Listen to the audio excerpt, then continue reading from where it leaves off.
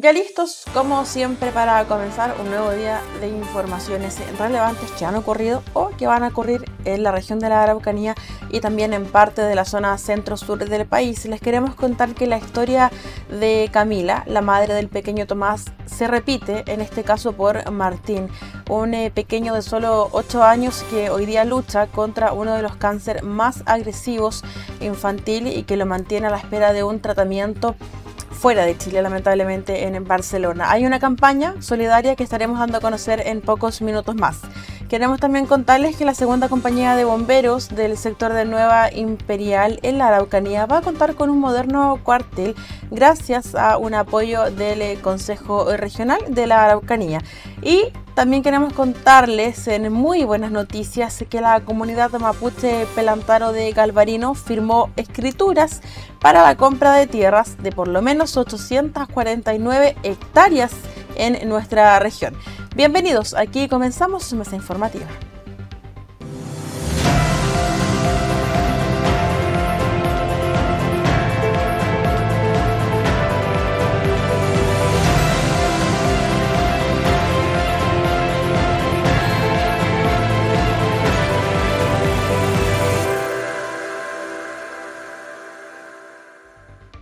Hace un tiempo atrás conocimos la historia de Tomás Ross. Su madre, Camila, inició una caminata desde Ancud de Chiloé hasta la moneda de la historia. Hoy día se repite, pero con otro caso. Esto porque Aileen Riquelme, madre del pequeño Martín Vallejos, un niño de 8 años que padece un agresivo cáncer llamado neuroblastoma, Em, inició la caminata desde Valdivia, en la región de los ríos, hasta el Palacio de la Moneda en Santiago para poder reunir 1.200 millones de pesos para el tratamiento de su hijo. Su cruzada se denomina Unidos por Martín Kilómetros de Amor y busca recaudar dicha suma monetaria para que el niño pueda recibir una inmunoterapia llamada Naxitabam en Barcelona, España. Martín vivió, está viviendo actualmente lamentablemente una recaída desde enero de este año y lleva cinco meses sin poder tratarse para poder curarse. Un dato relevante es que este tipo de cáncer es eh, uno de los más eh, agresivos y de los más eh, extraños de alguna forma que afecta a niños, niñas y cuando uno está en recaída se vuelve mucho más difícil de poder tratar ya que es muy complejo. El tratamiento que recibió Martín no fue suficiente, comentaban sus padres, para poder conseguir esta remisión completa de la enfermedad. Y la inmunoterapia es la mejor alternativa, pero sin embargo eh, poder pagarla es imposible porque nadie tiene en lo inmediato 1.200 millones de pesos. Bueno, ella comenzó la caminata, llegó hasta la comuna de Temuco hace unos días atrás, se fue recibida por Roberto Neira, el alcalde de la ciudad, porque ellos son oriundos, además de la capital de la Araucanía, estuvieron acompañados por adherentes, por familiares y por cercanos. Estuvo también Martín, porque es su madre la que camina, pero él va en un vehículo junto a su padre.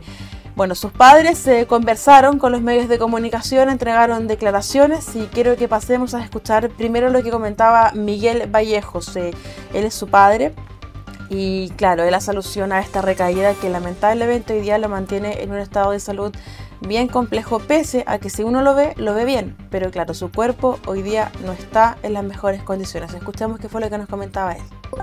Ahora lamentablemente en enero Martín tuvo una recaída y nos enteramos de, este puerto de rock que recibimos como padre y no quisiéramos que ni un padre esté en los zapatos de nosotros porque hay muchos casos de verdad, eh, padres que se encierran, se decían y no quieren dar la pelea, por decir, nosotros en este caso no vamos a dar hasta lo imposible, por eso buscamos los medios, buscamos las redes, buscamos todo y queremos llegar a, a cumplir la meta y poder sanar nuestro hijo.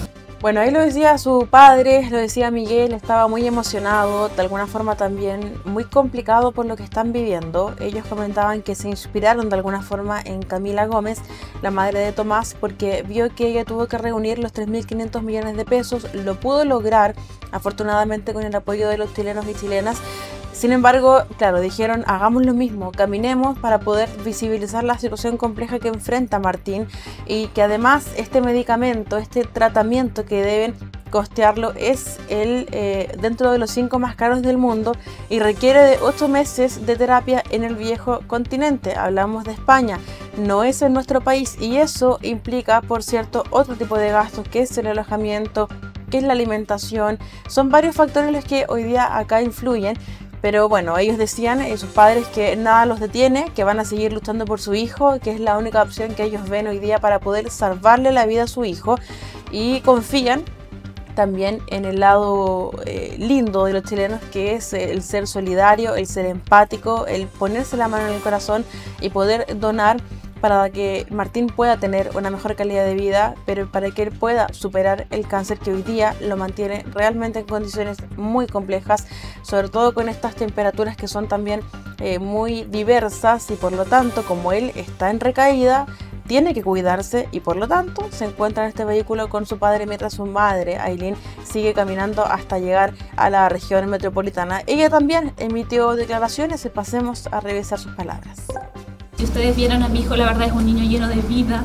Eh, pareciera que no estuviera enfermo, solo que está peladito y la verdad es que eso a mí me llena de energía y la verdad es que eh, como les digo, esto, estamos en, contra del tiempo, eh, Martín nos necesita ahora, así que le hago el llamado a, todos los televidentes y a los de la radio que por favor eh, nos ayuden a difundir nuestro caso. Martín es, local, nosotros somos de acá, la verdad que estamos solamente en Santiago porque él se está tratando allá. Y nada, puedo decirle que necesitamos su ayuda, estamos contra el tiempo, el tiempo es oro y Martín nos necesita.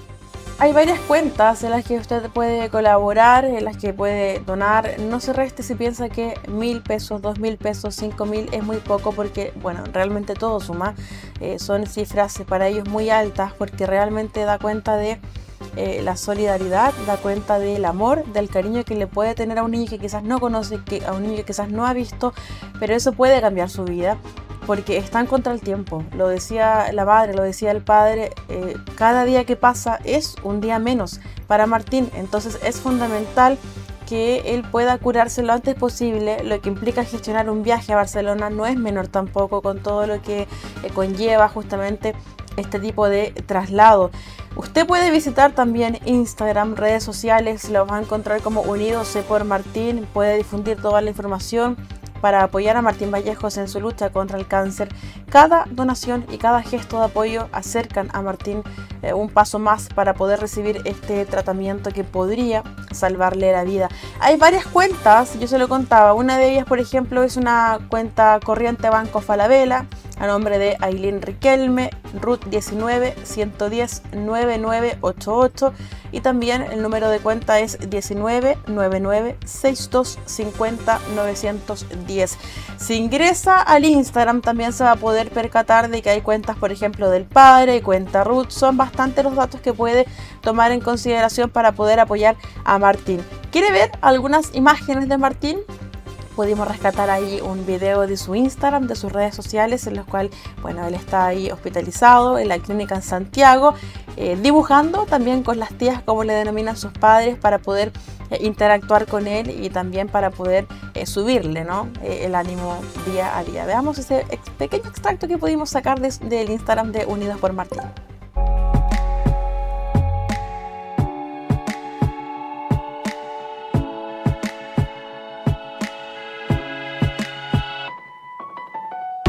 Smiles. I know what it takes to fool this town. I'll do it till the sun goes down and all through the night time. Oh yeah, oh yeah. I'll tell you what you wanna hear. Keep my sunglasses on while I shed a tear. It's never the right time. Yeah, yeah. Bueno, ahí estaba entonces eh, Martín Vallejos, un pequeño de solo 8 años que hoy día se enfrenta a una grave lucha contra el cáncer, uno de los más extraños, de los más complejos que afecta hoy día a niños y niñas en nuestro país.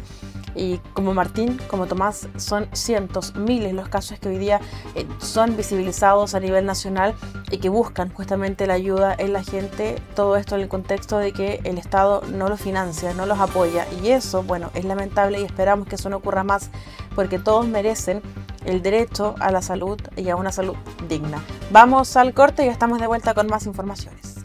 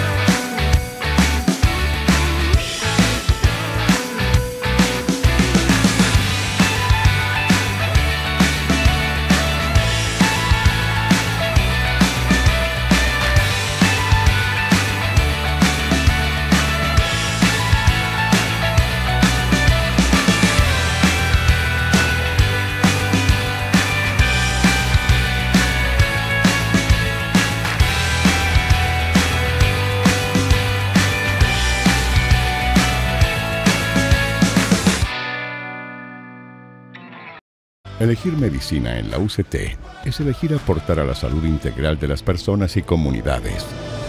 Es comprometerte con la mejor atención y mayor cuidado en cada acción profesional. Es creer que una salud distinta es posible, pues tu compromiso será el cambio. Universidad Católica de Temuco. Excelencia y compromiso público. Admisión.uct.cl Estamos de vuelta, vamos ahora con otros temas. Eh, el gobernador Luciano Rivas sostuvo una importante reunión con voluntarios de la segunda compañía de bomberos de la comuna de Nueva Imperial para poder revisar el estado de avance de un proyecto muy importante que es la reposición del actual cuartel institucional y que ya cuenta con el diseño financiado por el GORE, pero que se encuentra a la espera de la recomendación satisfactoria del MIDESO para la posterior firma del mensaje justamente del eh, gobernador. Él comentaba que este es un proyecto muy importante, además eh, hacía alusión a que hoy en día tenemos eh, a nivel regional siete cuarteles en ejecución y este diseño del cuartel de ahora es un cuartel que cumple con los estándares eh, que hoy día los bomberos y bomberas requieren, es decir, un cuartel de calidad. Respecto de esto mismo, el gobernador comentaba, o más bien advirtió que estaban esperando justamente la recomendación satisfactoria para poder generar el mensaje y de esta forma proponerlo al Consejo Regional con el fin de que ellos puedan aprobar estos recursos y bueno, siempre lo decimos, lo reiteramos, es importante la coordinación que hay entre el GORE y el CORE para poder aprobar recursos. Y anteriormente ya se ha visto que se han entregado eh, por ejemplo, carros, eh, vehículos a bomberos para poder reforzar su implementación, el equipamiento y de esta forma agilizar las respuestas o disminuir los tiempos de respuesta ante las diversas emergencias a nivel regional y en este caso en la comuna de Imperial. Escuchemos palabras que entregaba al respecto de este proyecto de reposición del cuartel de Imperial el gobernador Luciano Rivas instalaciones que tienen que tener eh, adaptado también, no adaptado, sino que incluido eh, un, sector para la Guardia Femenina, eso se ve incluido acá, y por sobre todo con, con, las necesidades, pero también con, las, eh, con el apoyo que los bomberos necesitan hoy día. Centro, cuarteles que son mucho más modernos y que junto a nuestro Consejo Regional hemos, hemos apoyado en, unas, innumerables ocasiones. Así que el saludo también de nuestro Consejo Regional. Bueno, este tipo de proyectos lo que hace sin duda es generar un gran impacto a nivel local, a nivel regional, en este caso entregar, bueno, seguridad y bienestar a los 60 voluntarios especialistas en el rescate vehicular de bomberos, quienes hoy llevan a cabo sus funciones en un recinto compartido con personal e instrumentos de la primera y tercera compañía de Imperial. Así también lo hizo ver el superintendente del Cuerpo de Bomberos de Imperial, Ricardo Peña. Él indicó que con este nuevo centro van a poder descongestionar el cuartel general en el que hoy día tienen, como yo les contaba hace segundos atrás, tres compañías y bomberos necesita, yo creo que todos estamos conscientes de aquello, espacio justamente para los vehículos, para los instrumentos, herramientas, implementos, todo lo que usan eh, día a día para poder ir en respuesta de las emergencias que se registran, que no son menores, sobre todo ahora con lluvia, a nivel regional y en las 32 comunas también de la región de la Araucanía. Un dato importante, el nuevo cuartel de la segunda compañía estará emplazado en calle Jaime Mundel, aproximadamente a 120 metros de la ruta S40 que conecta a la ciudad acuariela con la capital de la Araucanía, es decir, la comuna de Temuco. Escuchemos al superintendente Ricardo Peña que también entregaba declaraciones y se manifestaba ahí, por cierto, muy contento, muy agradecido del Consejo Regional contribuyen que vamos a descongestionar el cuartel general en donde tenemos tres compañías acá prácticamente hacinadas ya. Y muy contento también porque el mensaje del, o la información del señor gobernador es que eh, se van a comprometer eh, el gobierno regional a que la parte administrativa eh, culmine este año. Eso significa que para el próximo año quedaría solamente llamar a licitación para la construcción del cuartel. Ya, ¿qué es lo que considera? Bueno, esta construcción, eh, dos niveles de modernos espacios, entre los que van a destacar, por ejemplo, 80 eh, metros cuadrados para guardia femenina y masculina, sala de máquinas, bodega, área de casilleros, área de descontaminación, lavandería, baños, camarín, recinto era, sala eléctrica, sala de comunicaciones, una sala de estar y también oficinas con salas de reuniones y salas de uso múltiple. Así que un amplio espacio que, bueno, es necesario justamente para poder responder a estos llamados de emergencia que se dan en este caso en la comuna de Imperial, pero también no se descarte que puedan desplegarse, por ejemplo, en diferentes zonas que requieran apoyo de otras unidades fuera de cada ciudad. Así que es muy importante este tipo de apoyo que se entregue a bomberos que realizan una labor tan noble día y día en nuestro país. Vamos al segundo corte y ya estamos de vuelta con más en Mesa Informativa.